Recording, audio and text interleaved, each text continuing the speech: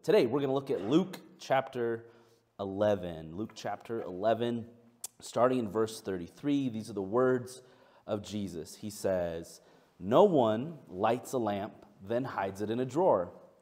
It's put on a lampstand so that those entering the room have light to see where they're going. Your eye is a lamp, lighting your whole body. If you live wide eyed in wonder and belief, your body fills up with light.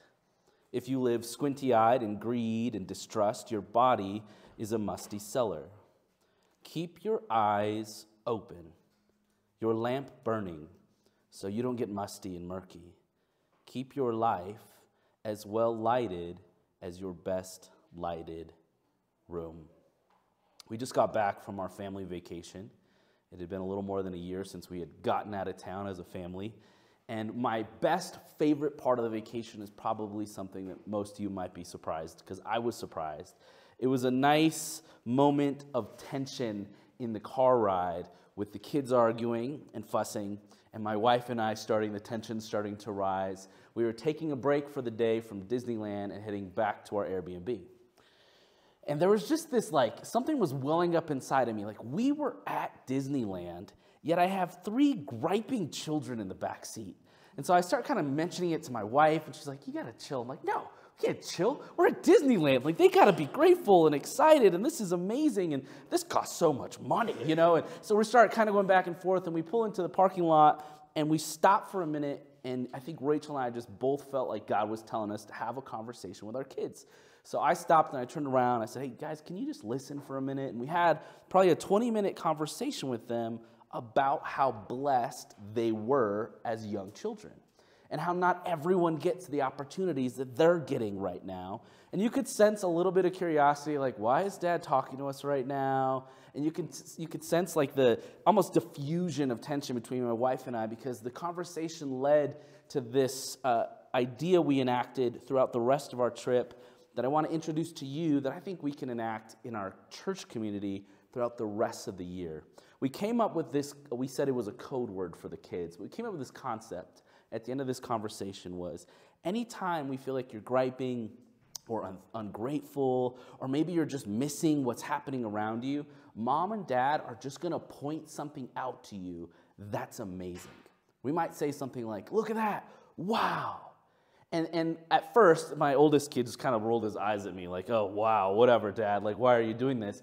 But the longer we did it throughout the duration of our time at Disneyland, I started to recognize they were doing it on their own. Look at that. Wow, look at this. Wow.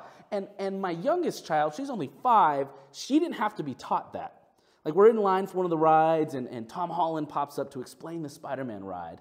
Now, the graphics were amazing. I know they're not real, but the way they project his image and as he's talking and moving, you could, as a five year old, look at it and go, wow, Spider Man is right there. Like she was amazed that Spider-Man in the movies works at Disneyland. Like he's he's right there. Like this, he's really there. We took the Millennium Falcon ride, and she's driving, and she turns around. She goes, "Dad, are we really flying? Like, is this real?" I'm like, "If you want it to be, sure." Like every other thing we did, she's like, Is this real? And is that real? And, and, and she'd just be like in this awe and this amazement and this sense of wonder was coming over her constantly throughout the entirety of our trip. And I saw it in my oldest child at Legoland.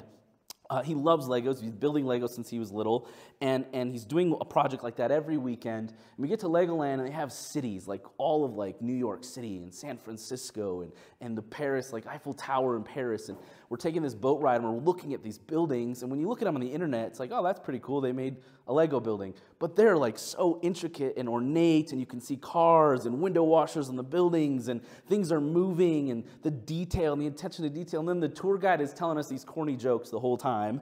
But then she's telling us how many millions of Legos each building. Well, this town took 200 million Legos, and this one took 25 years. And this, and so as it's happening, I could see his like wonder begin to kind of unravel and unfold like, whoa, this is so much bigger than any Lego I have ever built. How much of that wonder, I wondered, is childlike?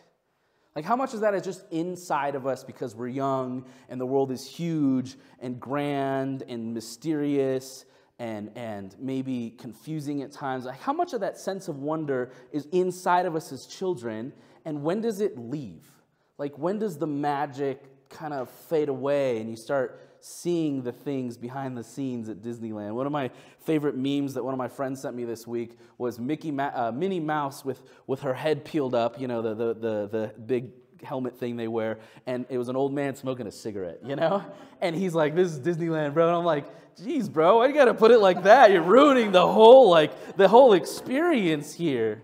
But I started to wonder how often in my life do I chalk up my lack of amazement or wonder or sense of awe to just, oh, I'm a realist, or I've just lived a little more life, or I know what's really behind that curtain. Did I outgrow it? Did I choose to outgrow it? Is it like Jesus is saying here, a position we take with the way we see the world? Listen to this passage again with that sense of wonder in mind. He says, No one lights a lamp and hides it in a drawer. It's put on a lampstand so those entering the room would have light to see where they're going. Your eye is a lamp, lighting your whole body. If you live wide eyed in wonder and belief, your body fills up with light. If you live squinty eyed in greed and distrust, your body is musty cellar. Keep your eyes open, your lamp burning, so that you don't get musty and you don't get murky.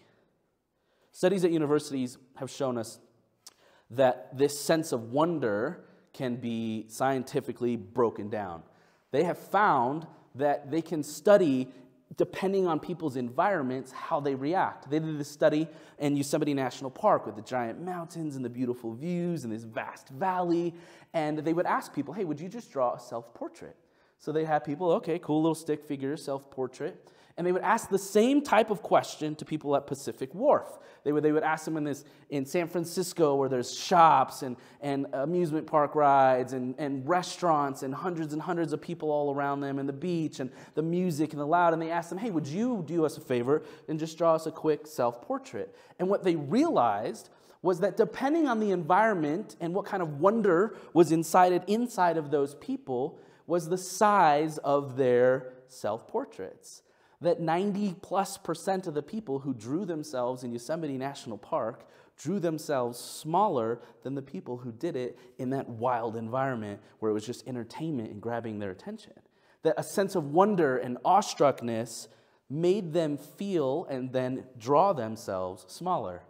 Like it, it gave them an understanding of the world around them to such a degree that they were less important especially outside of an environment where everyone is telling you it's all about you. These same studies, that they did scans on the brain, and they realized that uh, certain parts of our nervous system would engage throughout our entire body during moments of awestruck wonder. They'd show them these images of space or mountains or, or, or whatever it was, some type of a phenomenon, and people would be wowed and amazed, and they would watch their brains light up. And it wouldn't just affect their brains, it would affect their stomach and their digestive system. It would lower their heart rate. We've all been in that moment where um, the, the, vagus nerve, it, which goes from the back of our neck through our heart and through our lungs and through our body, engages, right? Where your, the hair on your arm stands up. That's a, that's a physical response to an emotion that we've invoked. It's something our whole body goes, whoa. You ever had that moment where you're like, whoa. Maybe you're watching a movie, like especially the way that we do scores of, of, of, music with the scene and the slow motion or the explosion, and you're like, whoa. I'm sitting in Legoland, we're watching one of those 3D, 4D films, and they're blowing wind in my face and shooting ocean water, and it was awful, and I hated it. And but we're wearing these glasses and every time this like character had this, I forgot what he had, a scroll or something during the story, it looked like it was about to hit you. Come, and I, I looked around this theater full of kids, and they're reaching out in the air to like grab it. And, and I'm like, it's not real, guys. You know what I mean? Like, but, but they're just like, they're, they're just awestruck. And then simultaneously throughout the theater, throughout this short film, you could hear the response from all the children and even the adults. Like without even us like planning it, it would just, you just hear, whoa, like the whole crowd, whoa. And then the wind would blow and everyone, whoa. That is an innate response built into the way God biologically designed us. That when we see something we can't wrap our minds around, our entire body engages. Now, it's the same part of our bodies that engage during fight or flight. It's the same reason when something scares you or makes you nervous or sets you off, that, that same thing happens in your gut and the hair on your arm stands up and you get a little nervous. It's the same part of our system that engages.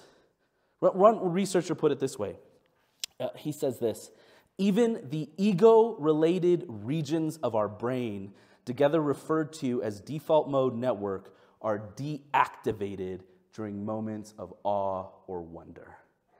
That, that little piece inside of you, that voice in your head that tells you you're all important and your opinion matters most or you're right and they're wrong, literally shuts off in a moment where your body is engaged in awe or wonder.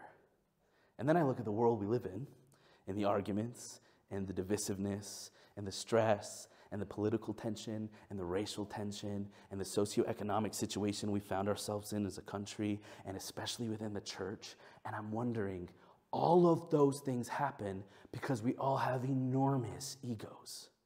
What if our problem is that we lack in moments of wonder?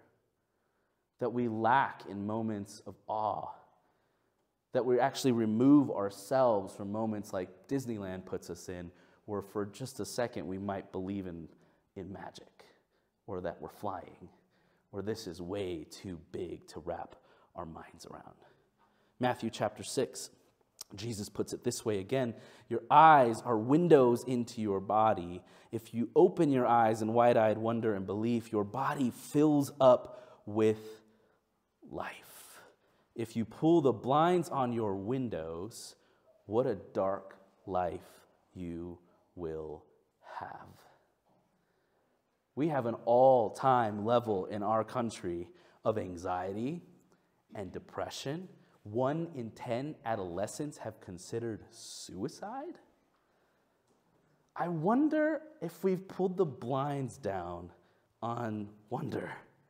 Like if we just pull the blinds down on the big, giant, unexplainable things, the, the beauty and the majesty of, of nature or space or science or, or even just moments where we're surprised. Like to be surprised is rare. We're so wide eyed and open, uh, uh closed minded that everything is not real and that must be fake and that's just not true. And, and so we start switching our language to start saying things like, hey, I believe in facts, you know, and, and I want to make sure that, that we're, we're getting the facts straight. And the news stories break and, and we don't even believe it at first. You know, we want to make sure we get all the facts. And so what happens is we want to explain everything.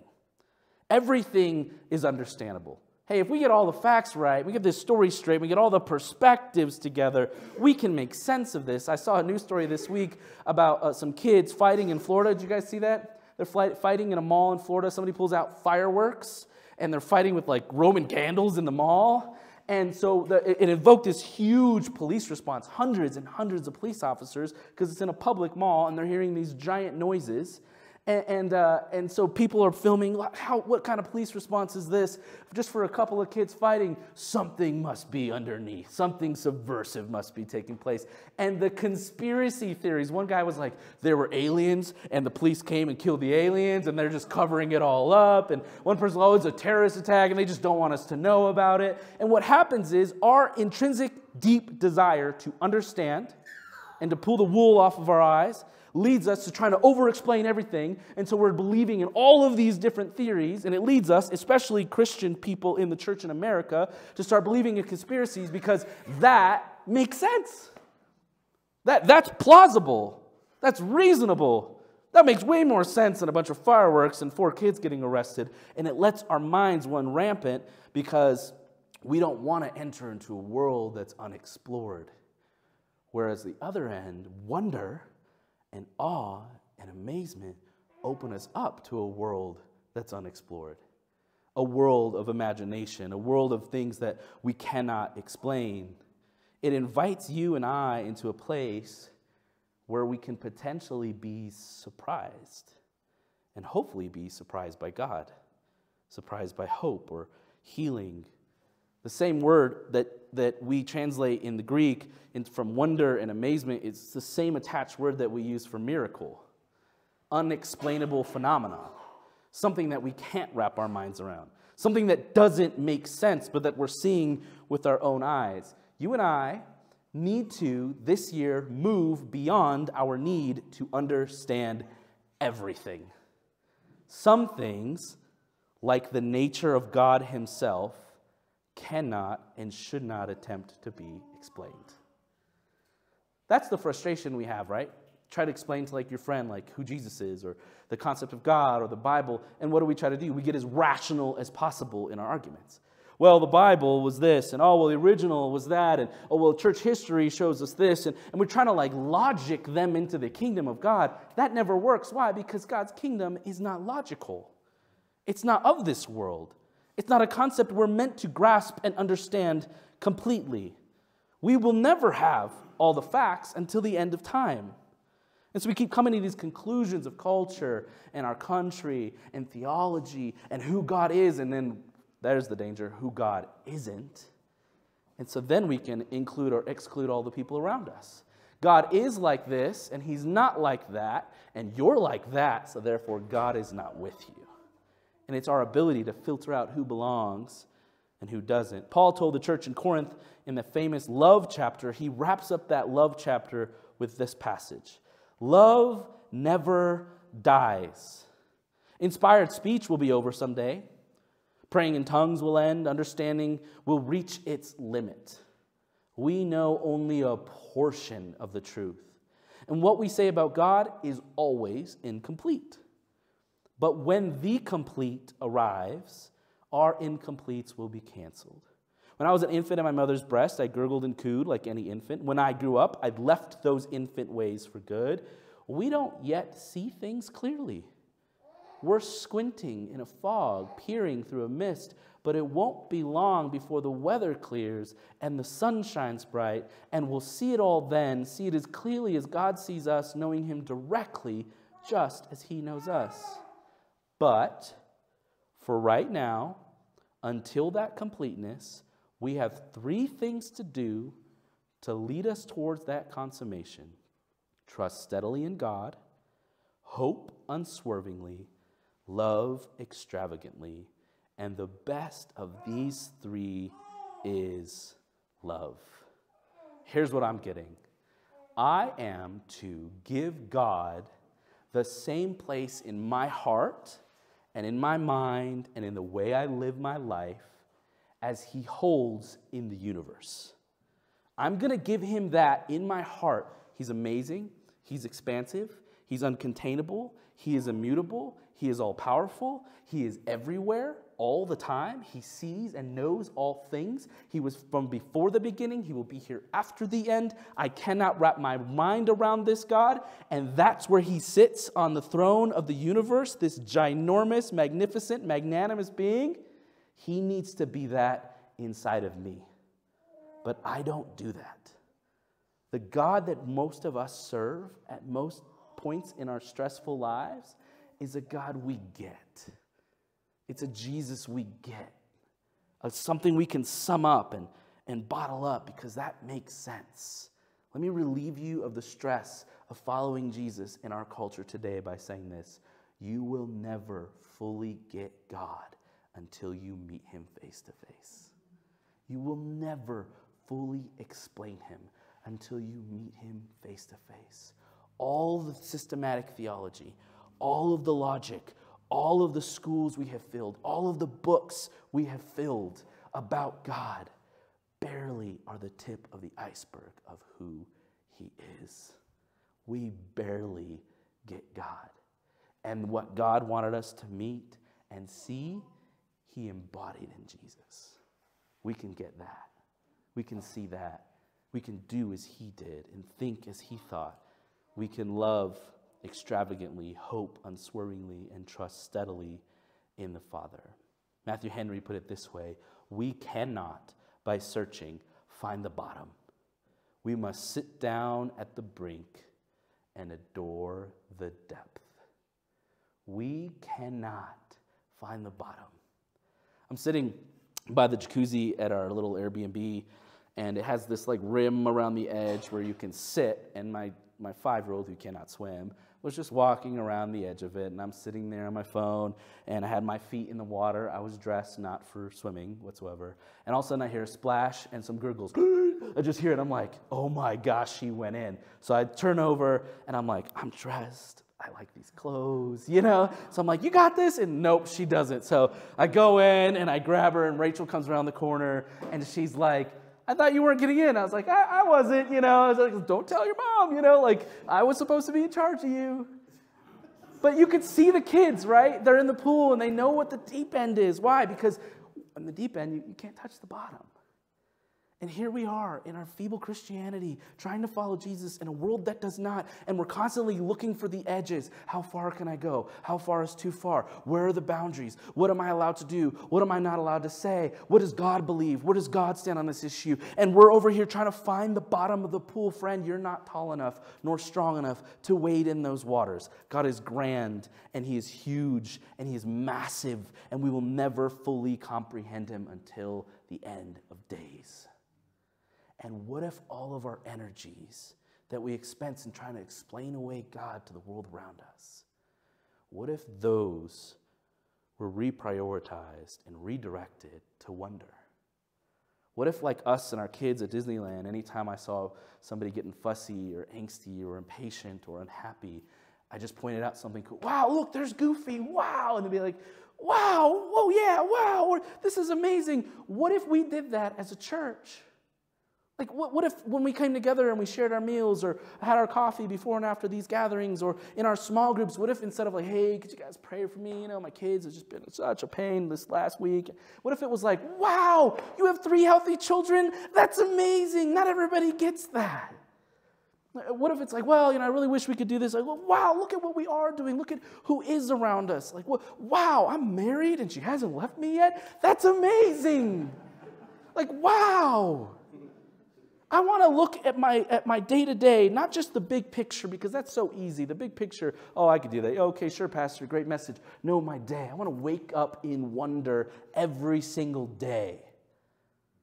What does that do? It makes me smaller, just like the people in Yosemite drawing their self portraits. I become smaller. It reminds me of John the Baptist.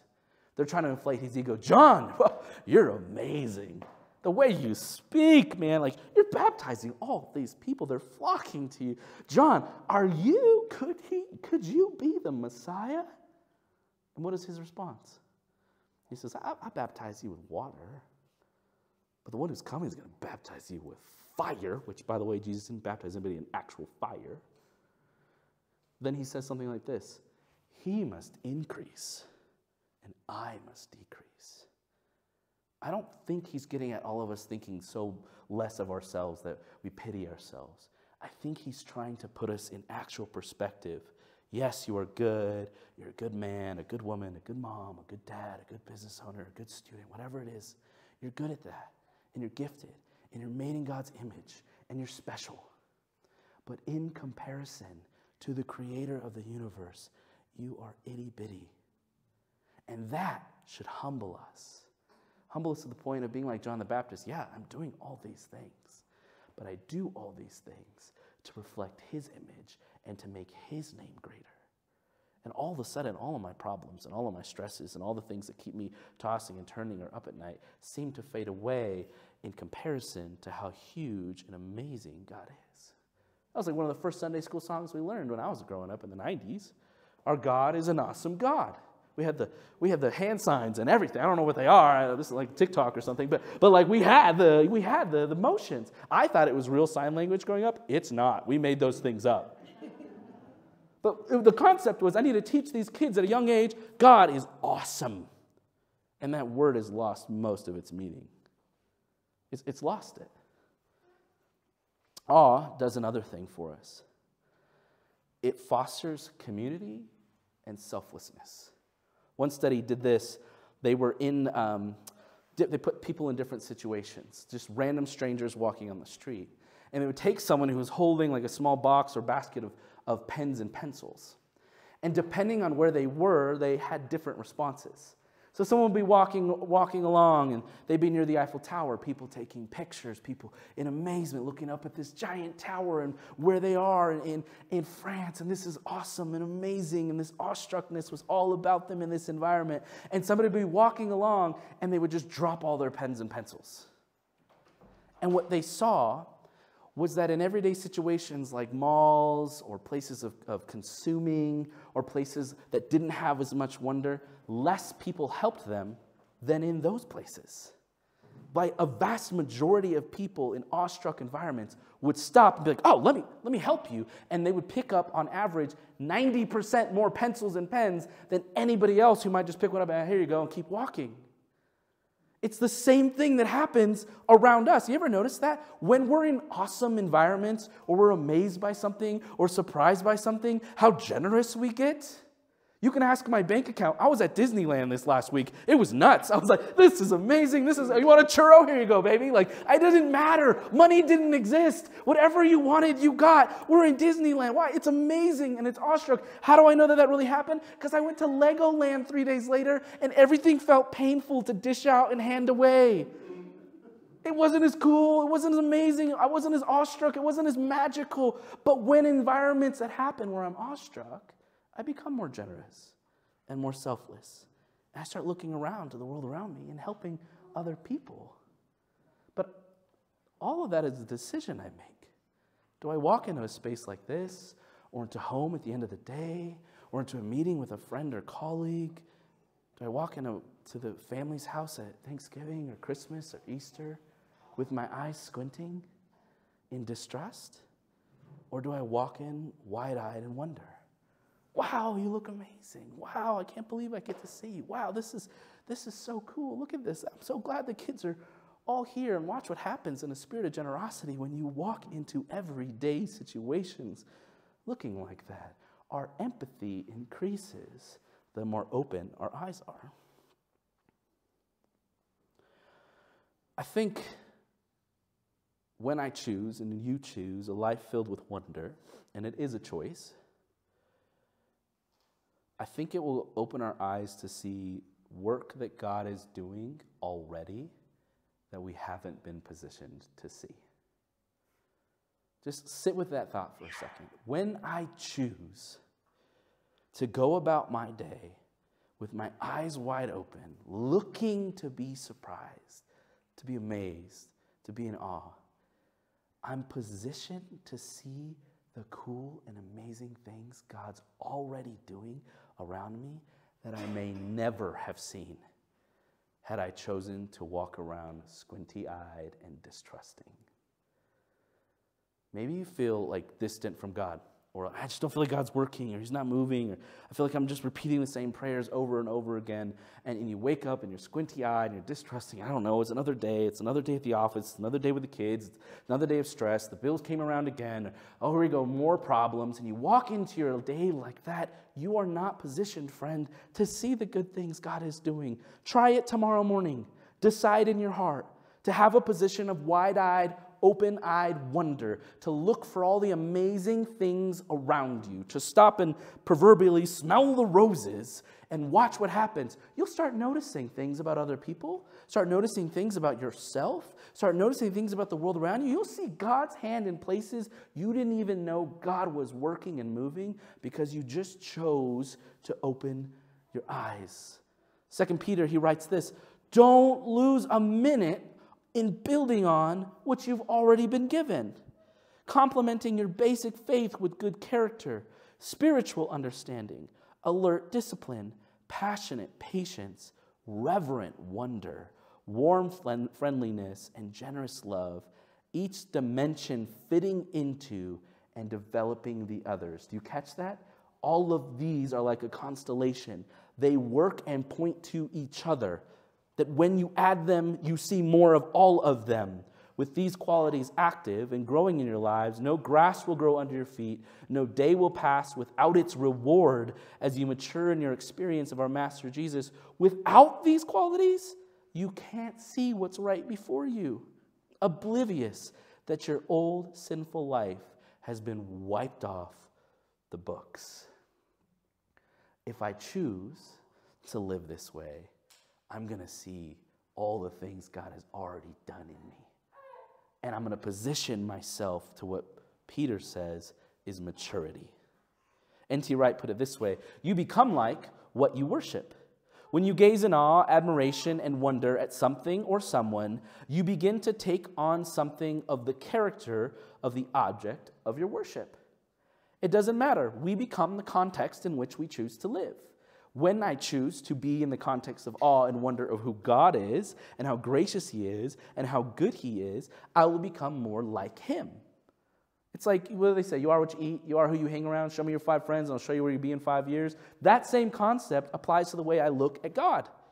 Is he as big and grand and beautiful as Scripture describes in my heart, or is that still conceptual to us?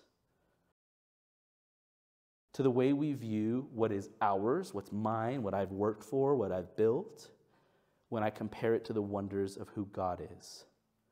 Because at that point, any explanation or any description of God becomes worthless. It's nothing.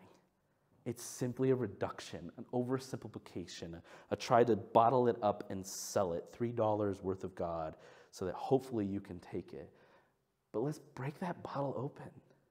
Like this year, this is my prayer for our community. We're going to go through the book of Colossians and Philemon together. And it's about how big Jesus is. It's about how everything is wrapped around him at the center of the universe and God's kingdom and the world and history and humanity. But my prayer for us as a community with all these new babies coming out everywhere and, and all of this like potential in our community for what could happen this year is that we don't go in squinty-eyed like we'll see what god does this year at annex church like we'll see what he does in my family or my relationships or if he, if he heals my body. Let's just go in wide eyed. Like, let's be surprised. I'd rather be the wide eyed wonder kids, the wide eyed people like just think everything is amazing and every like Legoland, their, their slogan is everything is awesome. And, and I want to go in every day like that. Like, I just want to go in every day just going like, this could be amazing. This could be a potentially amazing day. We could, we could break records. We could make strides. We could have healing. We could see our families come back together. I just want to go in and instead of going in everything skeptical with my, my arms folded and my eyes squinting and my heart usually potentially closed up.